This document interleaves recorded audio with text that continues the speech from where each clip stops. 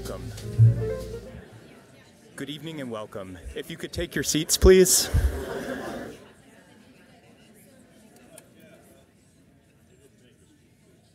Good evening. My name is Matt Abbott, and I am the Director of Government and Diplomatic Programs here at the Chicago Council on Global Affairs. Before we begin, please note today's event is on the record and live streamed. We always welcome your social media engagement, but please silence your phones. Please also note that the Council is an independent and nonpartisan platform. Views expressed by individuals we host are their own and do not necessarily represent the views of the Council. Later, we will be taking audience questions from the room or online at ccga.live. Also, following tonight's program, our Young Professionals Network will be hosting a cocktails and conversation program at Free Rein in the St. Jane Hotel. Before I turn it over to our speaker, a few brief words of introduction. Jan Hatzius is Chief Economist and Head of Global Econ uh, uh, Economics and Market Research at Goldman Sachs. Previously, he was a research officer at the London School of Economics. Hatzius is ranked the number one economist in the annual Institutional Investor All America Fixed Income Research Team, a position he has held for the past six years and a two time winner of the Lawrence R. Klein Award by Blue Chip Economic Indicators for the most accurate U.S. economic forecast over the prior four years, a period that includes the global financial crisis. He is also a member of the economic advisory panels of the Federal Reserve Bank of New York and the Congressional Budget Office. Now, please join me in welcoming Jan Hatzius to the stage.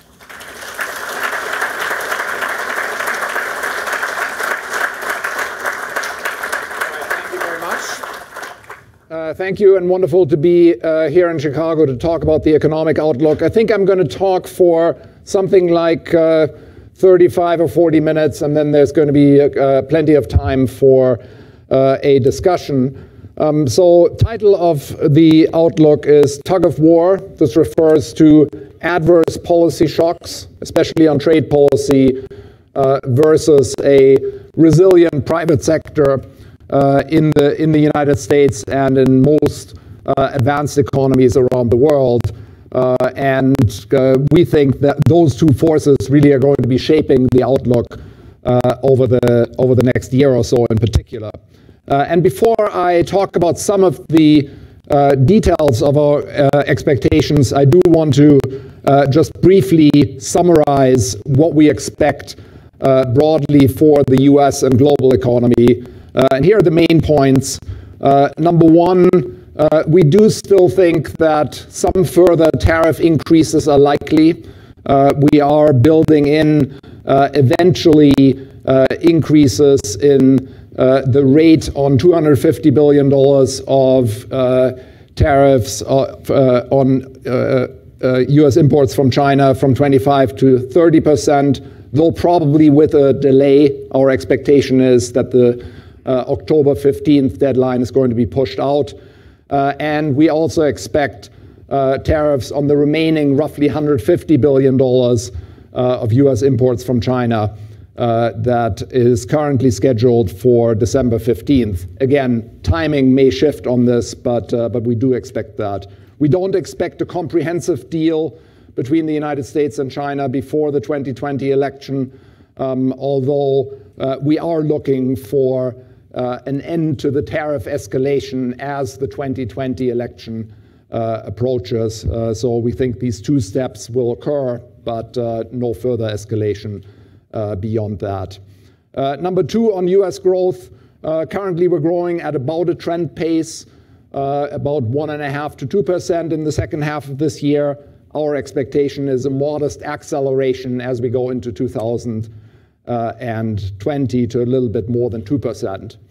Uh, third point um, related to this, uh, we think that while there is a risk of recession, and that risk has probably gone up as the economy has slowed, uh, our baseline is still very much no recession uh, and continued growth uh, with uh, for, for, for a couple of reasons, mainly the absence of the sort of imbalances in the private sector that have in the past uh, led to uh, recessions uh, in the US and elsewhere.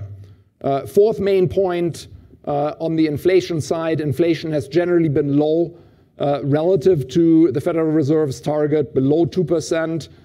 that's been true for uh, most of 2019 as well. Uh, we think that a lot of that weakness probably reflects more statistical factors that are likely to unwind as we get through uh, the remainder of 2019 into 2020. Um, we've already moved up somewhat from 1.6% to 1.8%. We think we'll probably move up to 2% on an underlying basis.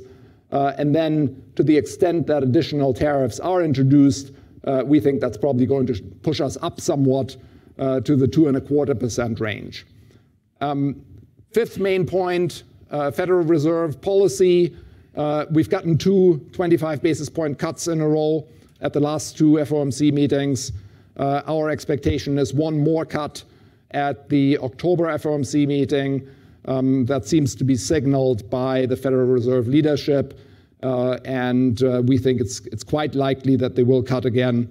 Uh, but in our forecast, that's it. We don't have any additional uh, cuts uh, based on our forecast for the economy. Of course, if the uh, economy behaves differently, they will cut further. But in our view, moderate growth and inflation at or a little bit above 2% probably means no additional cuts.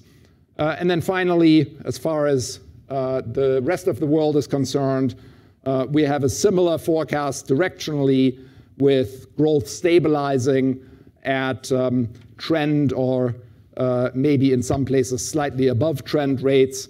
Uh, in China, uh, we have seen a significant slowdown in 2018. 2019 has been relatively stable as China has managed to offset the negative impact of the increased tariffs with easier domestic policy. Uh, we think they'll continue to manage to do that. Uh, as far as Europe's concerned, the, the slowdown has been sharper. Um, Germany is, uh, is contracting at the moment. Uh, the European economy is barely growing. Uh, we do think there will be some acceleration on the back of policy easing um, some, some additional monetary policy easing, some fiscal policy easing, and we also think that uh, one of the major risks overhanging uh, Europe, namely the departure of the United Kingdom from the from the European Union is going to be resolved in a, in a market friendly way. Our baseline is that Britain leaves with a deal uh, in the next few weeks by the end of uh, October. Uh, and we think if that doesn't happen, if that turns out to be wrong, uh, the most likely, the next most likely outcome is that the uh, that uh, uh, Brexit ultimately doesn't happen um, and the whole thing's reversed. We think a no-deal Brexit is the least likely of the three major options. Uh, so that's the, the, the basic outlook. Now, let me um, start out with just where we are in terms of the, the growth environment. Clearly, there's been a significant slowdown uh, in global growth and in US growth. Global growth has probably gone, if you look at it on a spot basis, uh, just the sequential growth pace, we've gone from somewhere around 4.5% in early 2018 to about 3% uh, at the moment. Um, I base that on what we see in the GDP numbers, global GDP numbers, and our current activity indicator, which is a higher frequency way of estimating the current growth pace uh, of the economy that looks at uh, indicators like retail sales, purchasing managers indices, employment numbers, jobless claims, so monthly and weekly numbers that uh, allow us to cross check the message from uh, the GDP numbers. So a significant slowdown um, from a clearly above trend pace to probably roughly a trend pace um, that uh, should keep the unemployment rate roughly stable if it's maintained here. We think 3% is uh, a reasonable estimate of that. And similarly, in the, in the US, a slowdown from the 3.5% range in early 2018 uh, to about 1.5 to 2%. Again, in our view, a, uh, a trend pace. Uh, so that's, that's sort of where we, where we stand at the moment. Now, we think there is an, an argument for why growth might pick up modestly over the next uh, few quarters. Uh, and we think that argument revolves around easier monetary policy and easier financial conditions. Uh, we spend a lot of time looking at our financial conditions index, which is um, a, weighted average of interest rates, credit spreads, equity prices, and the dollar with weights that are uh, proportional to the impact of shocks to each of these markets on real GDP growth over the next year. So it's basically a way of summarizing uh, the financial environment uh, from the perspective of an economic forecaster who cares about growth. And our index showed a, um, a sharp tightening in financial conditions in 2018, especially in the fourth quarter of 2018. Um, and that's, that's weighed on growth. However, since the end of 2018, we've seen a substantial uh, easing in financial conditions. We've unwound about half of the tightening uh, that, uh, that occurred uh, the prior year. And it's changes in financial conditions that uh, matter for growth. So tightening means a negative impulse, easing means uh, a positive impulse. And we can um, turn that statement into, into a statistical statement just using some simple uh, regression analysis. And uh, here's the, the result. This is our estimate of the impact of financial conditions on growth uh, at each point in time. So the most negative impact was uh, in, the, in the last few years was in, in early 2019, um, basically corresponding to the sharp tightening in conditions that we had seen uh, the, the prior quarter and over, over the prior year. Uh, and since early 2019, generally the impact has become uh, somewhat less negative. And based on where markets are currently, that could change, of course, because financial markets uh, move, but based on where markets are currently, we would expect this impulse to become somewhat positive in early 2020. Um, now, this is a somewhat abstract way of looking at the impact of financial conditions on growth. Uh, a more straightforward impact is to focus on the impact of interest rates. And interest rates have their biggest impact on the real economy in the housing sector. The housing sector is by far the most interest rate sensitive sector of the, uh, of the US economy. And we can see in many of the more leading indicators of housing activity that uh, things are getting somewhat better. Um, so here are single family housing permits and the home builders index, which is a survey of, uh, of home builders. Uh, both of those indicators deteriorated in 2018 on the back of higher mortgage rates, but in the, in the course of 2019, uh, they've started to, to improve, and we should start to see that in the, uh, in, in, the, in the growth numbers, in the GDP numbers uh, as well. So financial conditions uh, suggest that growth might pick up somewhat. Now, uh, the more negative uh, impact on the economy and one reason to think that maybe this somewhat you know, some, somewhat positive expectation is subject to downside risk is obviously the, the trade side uh, and the impact of uh, trade restrictions on, on growth. Um, trade restrictions have continued to escalate. Trade tensions have continued to escalate over the last year and a half in fits and starts. Um, one, uh, one thing that has changed recently, which has made the uh, trade tensions somewhat more important uh, in our view, for consumers and for the broader economy is that increasingly US tariffs on imports from China are hitting consumer goods. In the early days of the uh, trade restrictions, uh, the administration um, basically kept consumer goods mostly out of the uh, out, out, of the uh, goods that were being tariffed. Um, but as trade, uh, as tariffs have uh, gone to to um, to affect all of the roughly 500 billion dollars of U.S. imports from China. Um, that of course means that uh, you've also got to start hitting the consumer goods, and that's what we're seeing at the moment. There was a tariff introduction on September 1st that was more tilted towards consumer goods, and if we do get the uh, tariff uh, in uh, the middle of December, that's currently scheduled, then that would be mostly consumer goods, including smartphones, computers, uh, and toys. So uh, that's that's that's important because uh, it will have more of an impact on inflation, uh, at least in the short term, and it will have an impact on, uh, therefore, the real purchasing power of U.S. consumers. Um, and it's interesting that if you look at the relatively few categories of consumer goods that have seen tariffs already, uh, again, so far uh, consumer goods have been mostly kept out of the, uh, the tariff goods universe. Um, but if you focus on those uh, consumer goods that have seen tariff introduction, we've actually seen a, fairly meaningful increase in prices uh, for, those, for those goods. So that's uh, effectively saying that when um, the when companies have to pay the tariff, they do um, put they, they, do add that to the to the price, and consumers do pay more. So far, this hasn't been very important from an inflation perspective because the uh, the amount of goods that have been affected by this has just been quite small.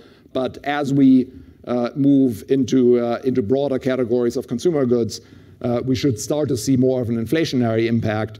And depending on uh, just how widespread these um, uh, tariffs are going to be, that is going to increasingly show up in some of the inflation indicators that, um, that, that, that, we look at.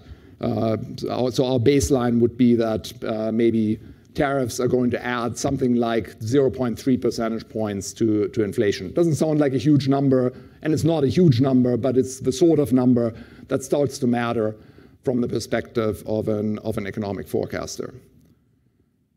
Um, so that's the inflation side. What about the growth side? On the growth side, um, our estimate is that uh, the trade war is currently subtracting something like uh, a half percentage point from US growth. So if we're currently growing at 175, um, these estimates would say that without the trade war, uh, we'd be growing at about two and a quarter percent. Um, there are a number of contributors to that, um, and I should say that uh, these effects are relatively difficult to estimate, so you should think about uh, confidence intervals around all the, this. But, uh, but our analysis says that there are uh, basically four different contributors to the negative impulse, uh, the net negative impulse. one small positive impulse, which is that tariffs are making it somewhat easier for US consumers to gain market share because you're effectively um, uh, hurting um, foreign, foreign competitors. Uh, that's the, um, uh, the net trade effect. And then there are three negative effects uh, a real income effect, which I already spoke about. Higher prices mean uh, less real income for US consumers, less ability to spend on other goods and services. Uh, then there is a, a negative uh, financial conditions effect. We see that in response to good news uh, on trade, relaxation of trade tensions, financial conditions ease. Uh, typically, the dollar weakens somewhat, uh, equity prices go up, um, credit spreads uh, tighten.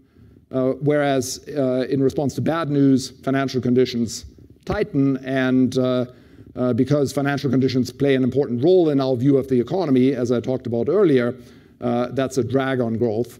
Uh, and then there's a final negative impact, which is uh, a sentiment and uncertainty effect, uh, which is probably the hardest to estimate.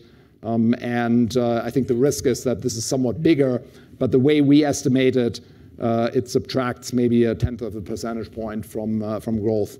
this is basically businesses becoming less willing to commit to long-term investment projects uh, and, uh, and that hitting, hitting growth. So this is, this is uh, our current, current estimate. Now, uh, if these estimates are right and if our assumptions about trade are right, then the, uh, the, the maximum negative impact on growth should be occurring right now. And as we go through 2020, the negative impact should become uh, less severe. That's, um, again, consistent with our expectation of maybe slightly better growth in, uh, in 2020.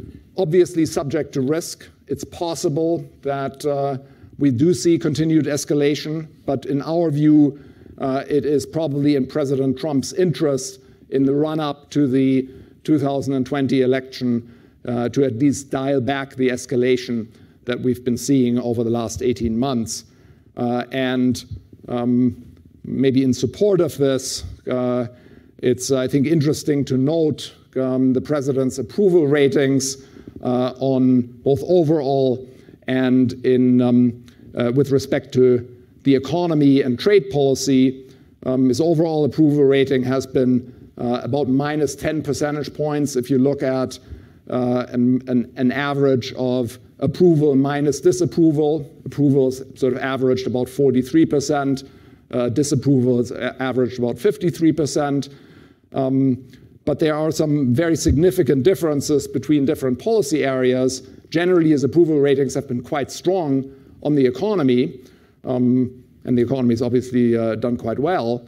Uh, however, his approval ratings on trade policy have been, uh, have been quite weak uh, and um, uh, about the same as his overall approval rating, if not a little bit weaker recently. And in particular, we've seen that in response to trade escalation, generally the um, trade approval rating has, has gone down. So I think this underscores that it would probably be in the president's interest to uh, dial back the, uh, the escalation, focus on his strengths, which, uh, uh, as far as approval is concerned, which is the economy, and move back from areas where uh, his approval is lower. Um, third point I wanted to spend a little bit of time on, uh, just because it's getting so much attention, especially for monetary policymakers, is why is inflation so low?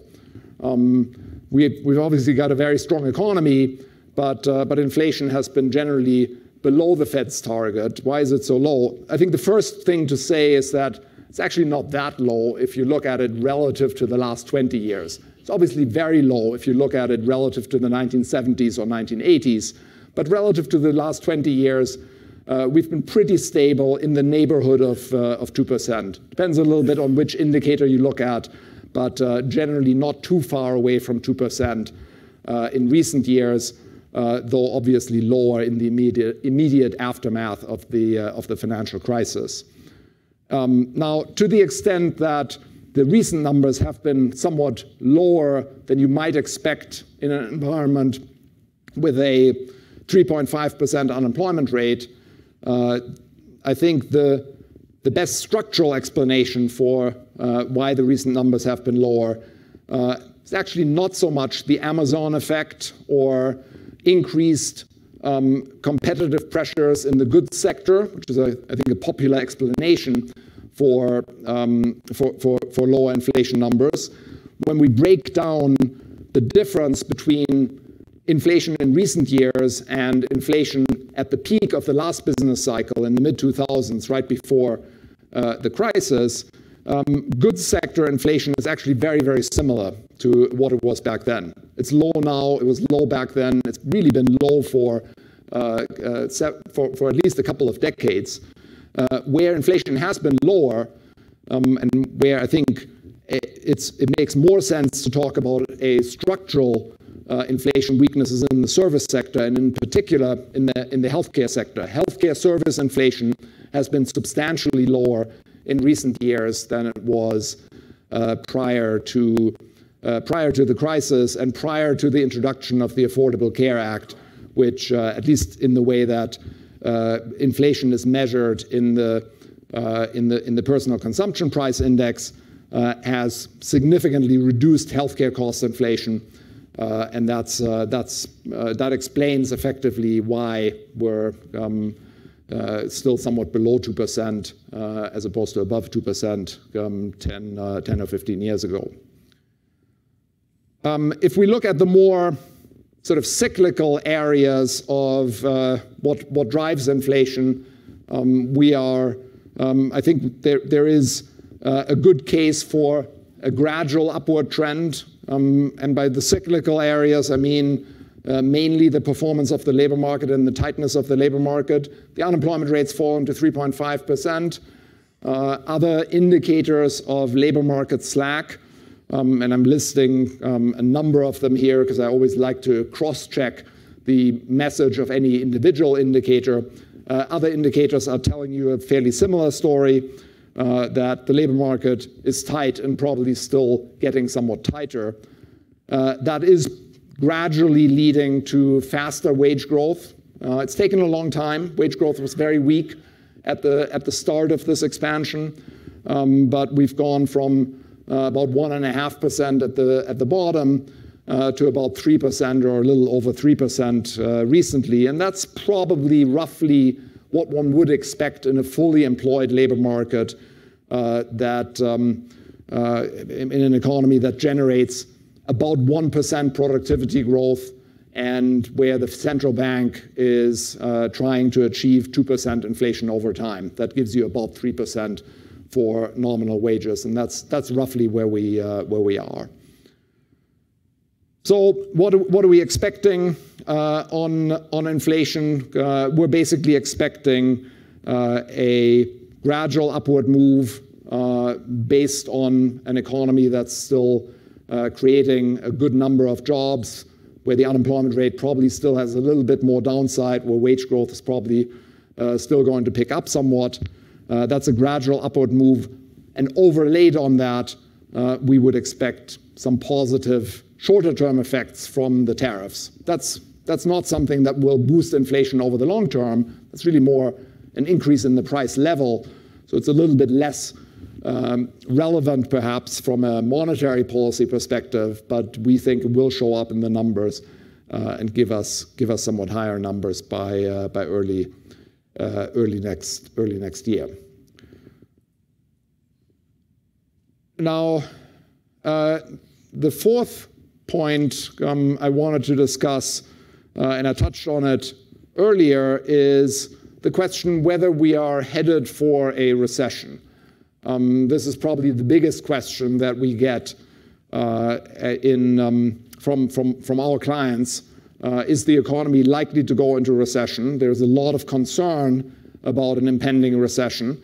And I would say exhibit A of those who think that the economy is going to go into recession is probably the slope of the yield curve, the difference between long-term interest rates and short-term interest rates. And not surprising, that, uh, that people are worried about this because historically, the slope of the yield curve has quite a good track record in predicting recession.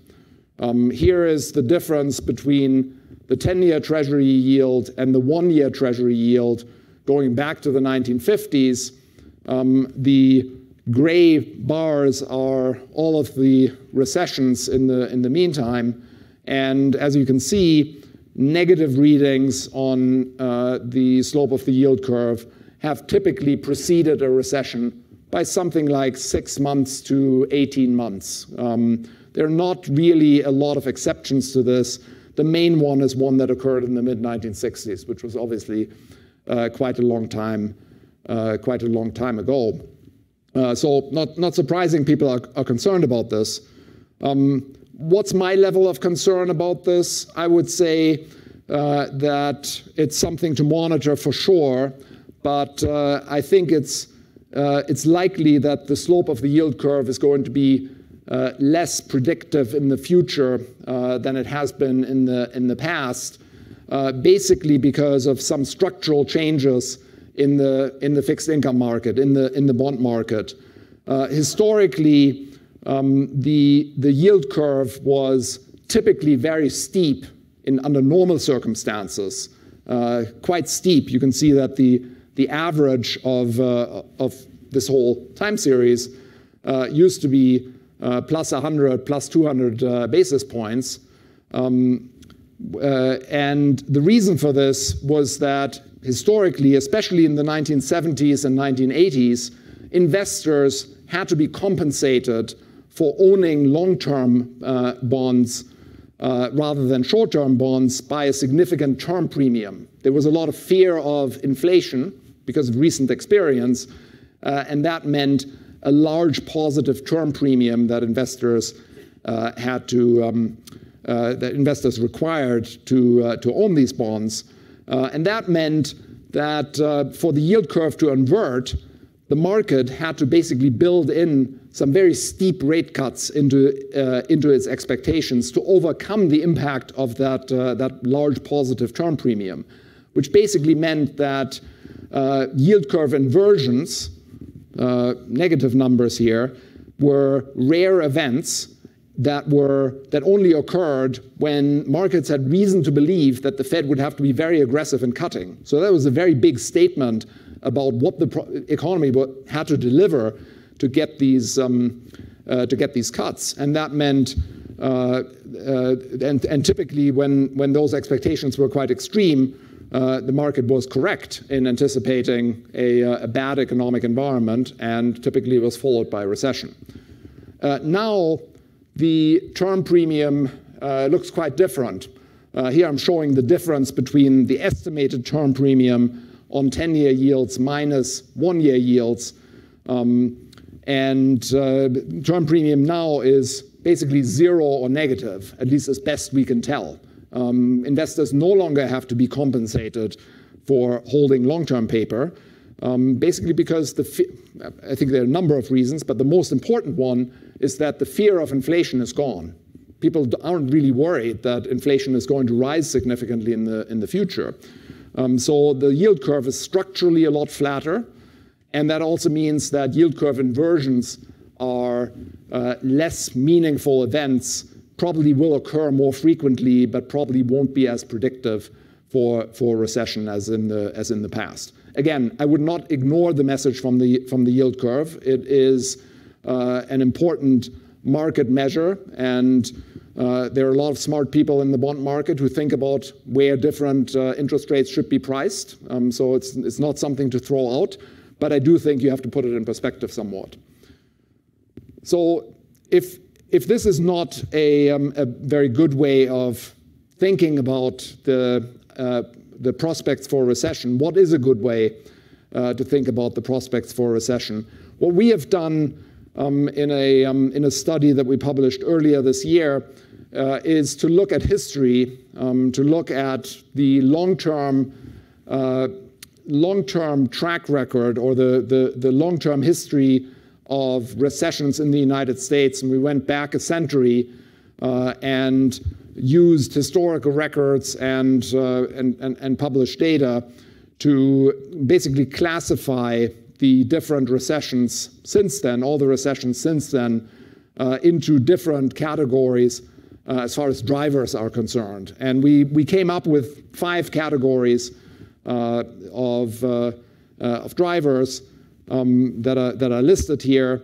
Number one, industrial cycles that um, big ups and downs in the manufacturing sector of the economy.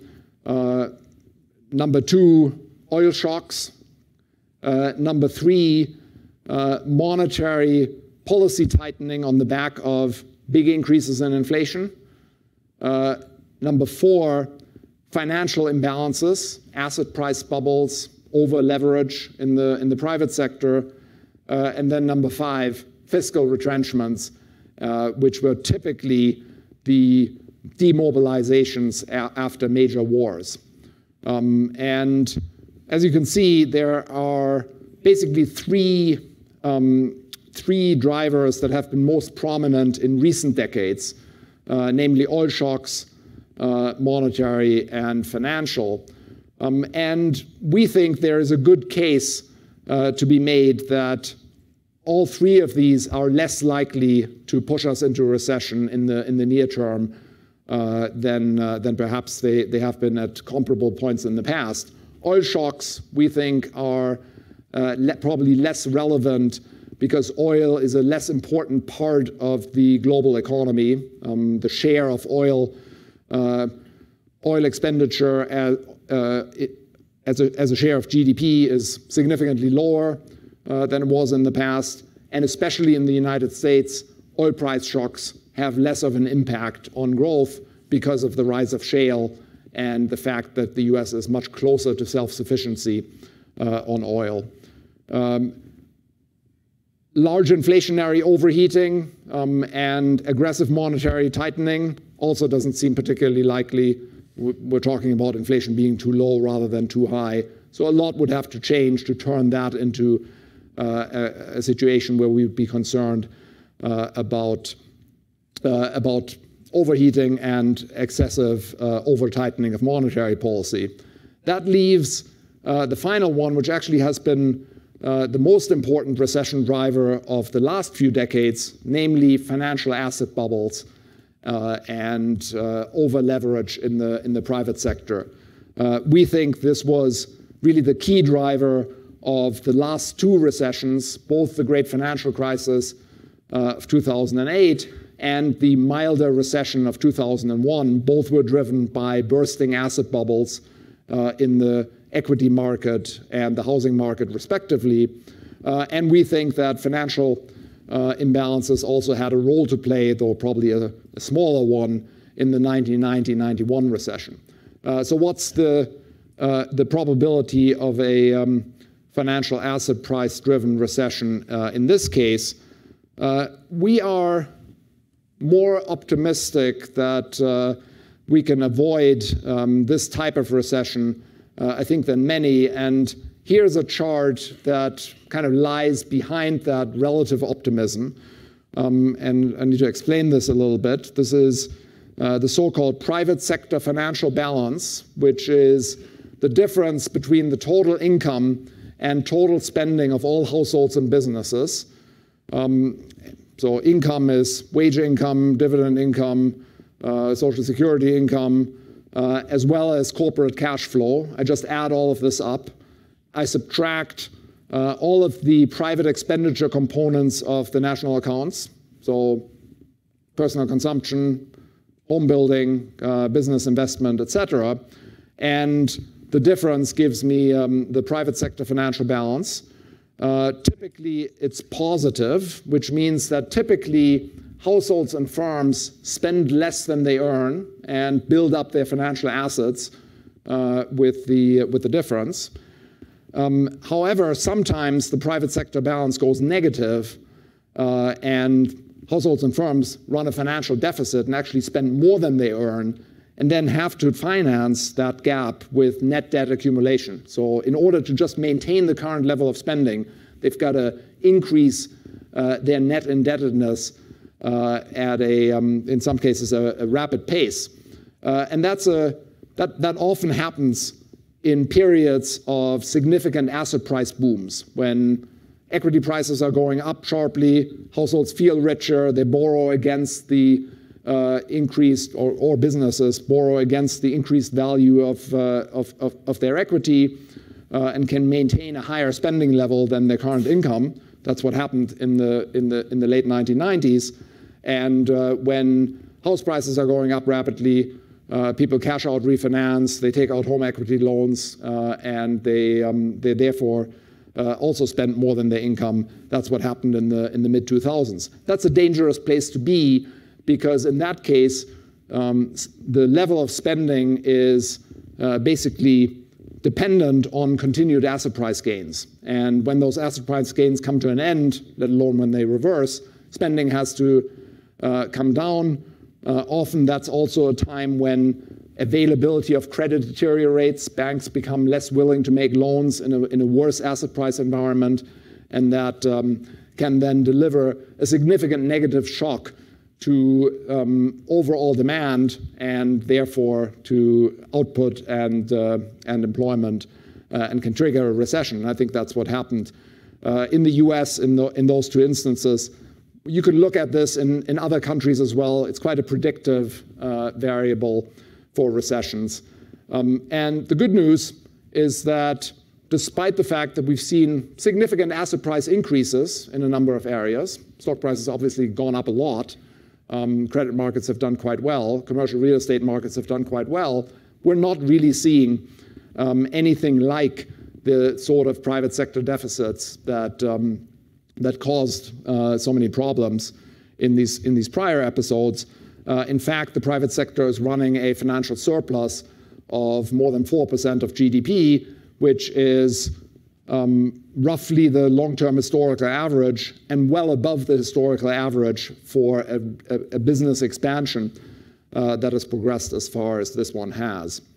Um, so uh, I think that's reassuring. What's also reassuring is that it seems this uh, surplus is relatively well um, distributed between households and businesses. So it's not the case that only the household sector has a uh, has, a uh, high quality balance sheet, um, but uh, the the business sector, even though there's been more debt growth in the in the business sector, business sector is not running a large financial deficit either.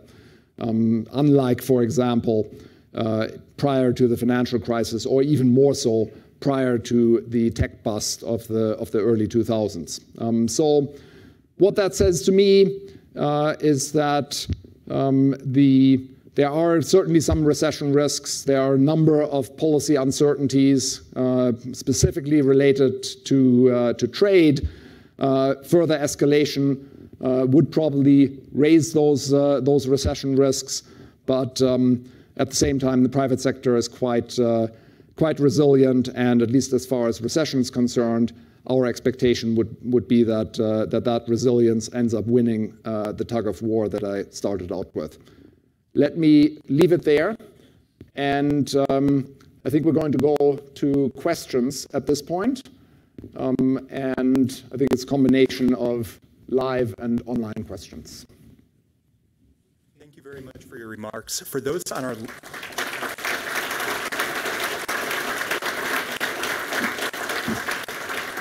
For our live stream viewers, please remember to ask your questions at ccga.live. And for our in-room audience, please raise your hand if you have a question.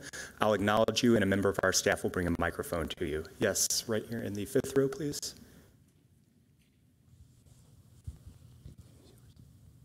Hi, Aaron Chandra, JP Morgan. Thanks for being here.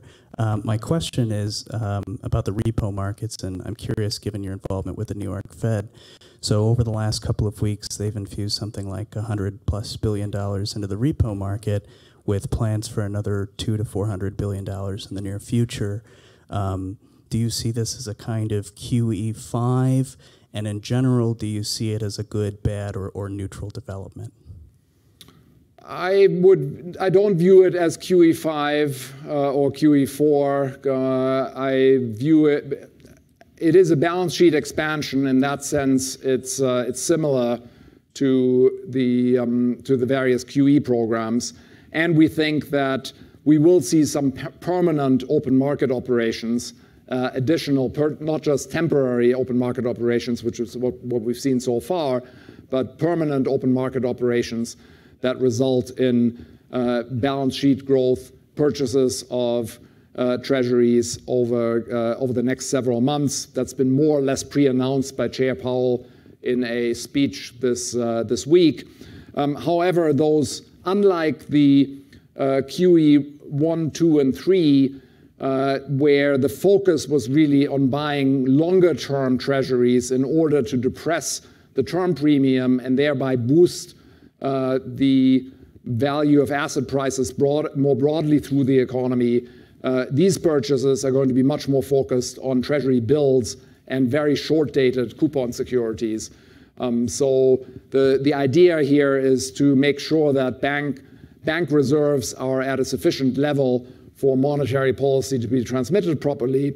Uh, rather than to, to boost asset prices. So while some of the mechanics are similar, uh, the goal is very different.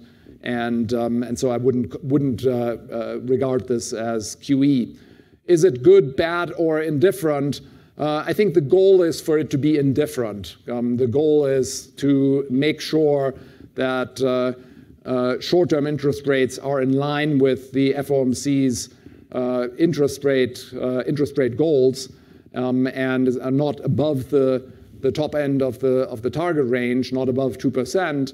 Um, and I, I, think the Fed has the ability and the firepower to ensure that, but it, uh, they, they're having to provide a lot more reserves than they thought was going to be necessary a few months ago.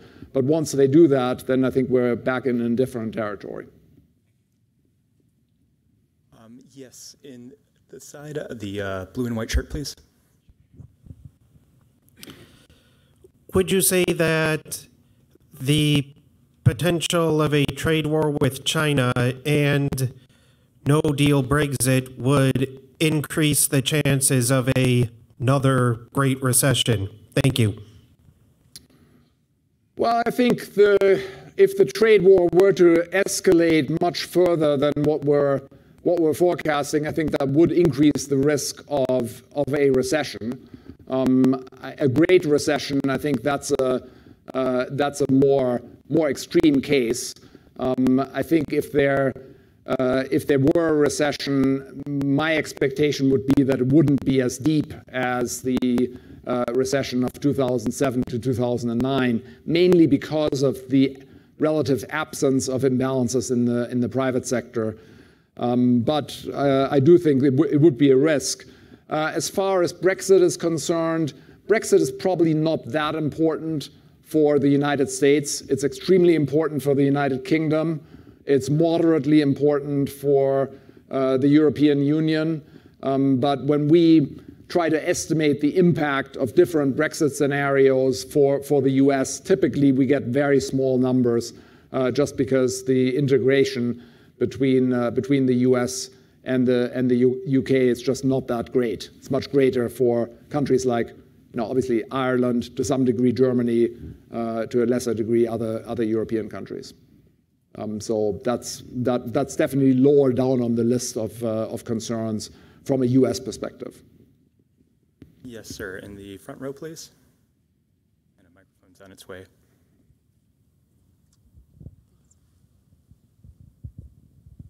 Thank you. Uh, one factor you haven't mentioned is the federal deficit as percentage of GNP. What kind of impact do you think the continuing growing deficit will have? Well, the deficit is large. Um, we're close to five percent of uh, of GDP at the at the moment. That's uh, that's not a it's not a huge number in a in a recession or in a period of weak labor markets, but it's definitely large with an unemployment rate of 3.5 percent. I think the implication is uh, twofold, um, and the and the cost of this I think is twofold. One uh, over the longer term, we probably do need to reduce the deficit uh, in an environment in which demographic pressures and uh, Social Security and Medicare spending are going to be pushing towards an increase in the in the deficit. So that uh, uh, is going to mean either raising taxes or, or cutting spending in other areas. Those are really the only uh, two ways to, to address it. Uh, and then I would say in the shorter term, um, if and when there is a recession at some point in the in the future, uh, with an, a deficit that's already large, that reduces the uh, federal government's ability to respond to a recession by, easy, by cutting taxes or, or increasing spending. Uh, and that probably means there's less policy flexibility than there would have been in, uh, in past cycles. The tax cuts of 2001 under President Bush uh, and the stimulus of 2009, in our view, uh, were uh, important reasons um, for why these recessions were not even worse than they, than they already were. And that's going to be more difficult.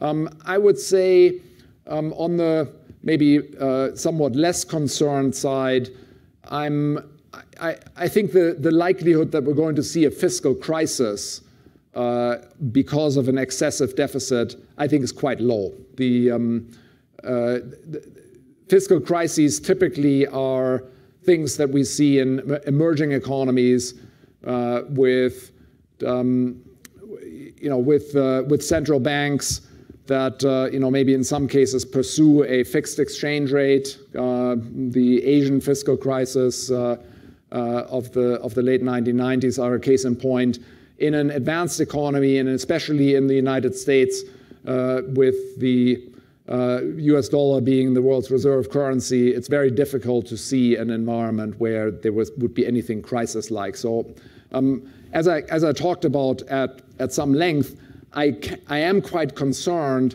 when I see private sector deficits because when the private sector runs a large deficit, uh, that I think raises the, the risk that uh, the private sector might lose access to credit uh, in a, in a downturn and, and have to cut back spending sharply and thereby deliver a large negative shock to, to demand. The same kind of thing just doesn't happen with the, with the federal government because the US Treasury never loses access to credit. Um, yes, sir. In the third row, please. And, uh, microphone's on its way. Thank you. How does rising income inequality impact current and future inflation estimates and FOMC monetary policy? I think um, rising income inequality has uh, some, I think, some effects on the shorter term ups and downs of the of the cycle, um, but I think most of the the relevance of rising income inequality are really more longer term issues. Uh, uh, the economy doesn't operate dramatically differently in a in a higher inequality versus lower inequality environment. There are some some things that require some uh, some interpretation saving rates, for example, uh, if you have a rising income inequality, uh, given that uh, higher income families tend to save a larger share of their income, that should be a, a reason to observe a, a, higher saving rate. So the fact that the saving rate right now is relatively high compared with the uh, the norm of the last 20 or 30 years probably has something to do with uh, uh, with with rising income inequality but I don't think it has a major impact on the inflation numbers.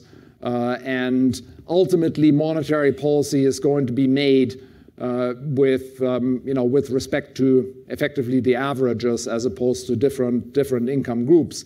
Now, one thing that uh, I think the Fed is very focused on is uh, the, the fact that labor market recovery and labor market expansion um, is particularly important for lower income groups. Uh, unemployment rates and wage growth are much more sensitive to, um, uh, or, or, rather, wage growth and income growth at the at the bottom of the income distribution is much more sensitive to the to the strength of the labor market. So that's a very strong argument, I think, from the uh, the Fed's perspective, to keep this labor market recovery going uh, because finally it is actually resulting in some uh, more significant real income gains in the in the bottom half of the of the income distribution.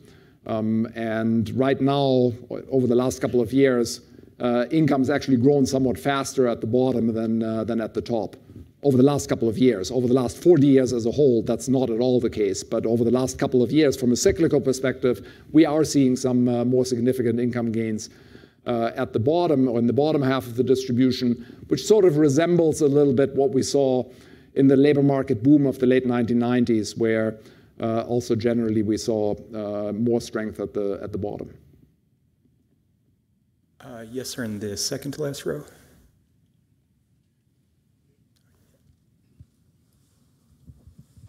If a progressive Democrat wins the White House, what sort of impact do you think that would have on the economy?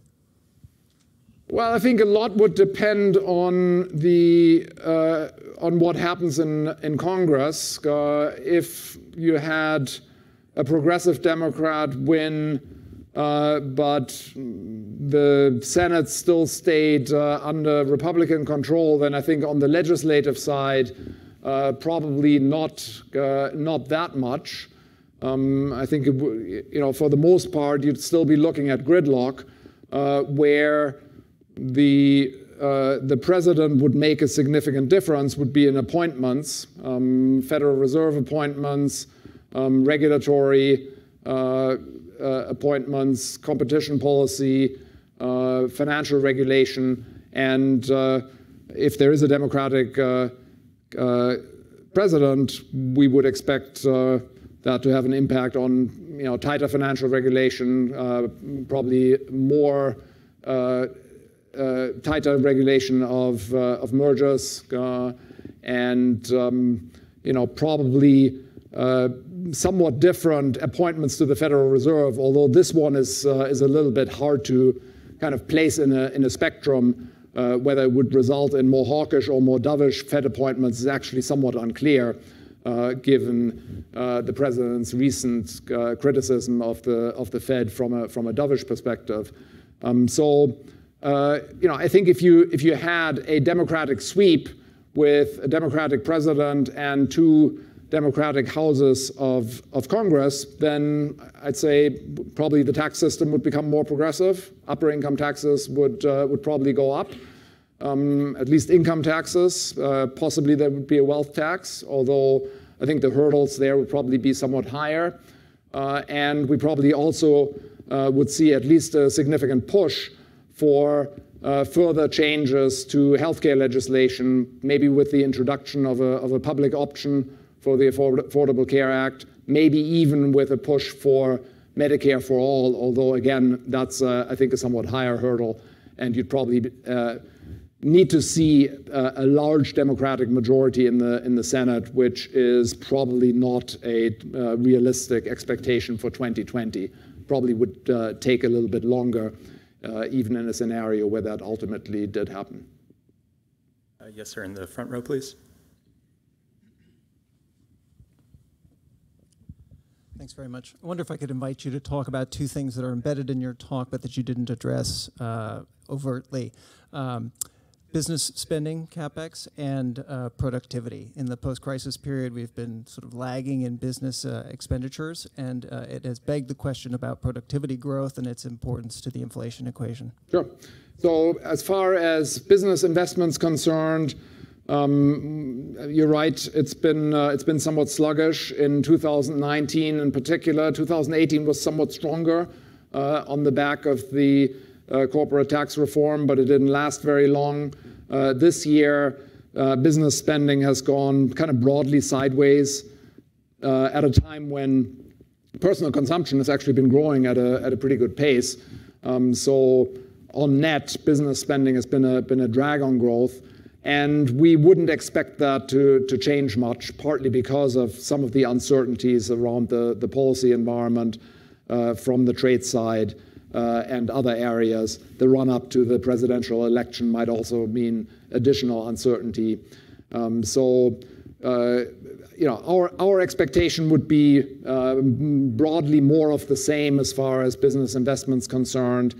Uh, as far as productivity is, uh, is concerned, um, you're right, productivity growth has been significantly lower in the post crisis period uh, than before, roughly 1% after the crisis versus uh, 2% plus before the crisis. There are probably a number of different reasons for that.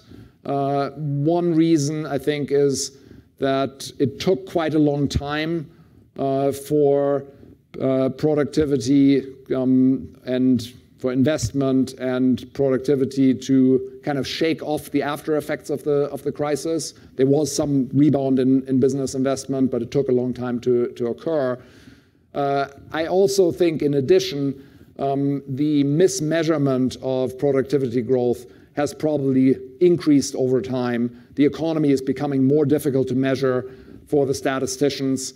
Uh, it's uh, the, uh, in particular, real output uh, is becoming more difficult to measure um, because goods and services are changing in quality, improving in quality in many cases, in ways that are difficult to capture for the statisticians, and important parts of the economy are basically not really included in GDP. Anything that's free um, or maybe paid for by advertising uh, is not included in GDP. So Google's uh, search service, for example, basically doesn't show up in, uh, in GDP because it's given away for free uh, in return for you looking at, uh, at ads.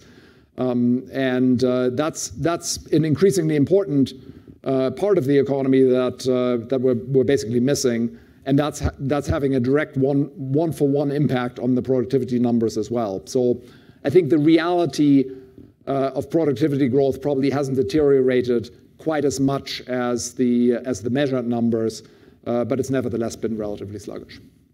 Unfortunately, we're out of time. Please join me in thanking Jan Hatzius.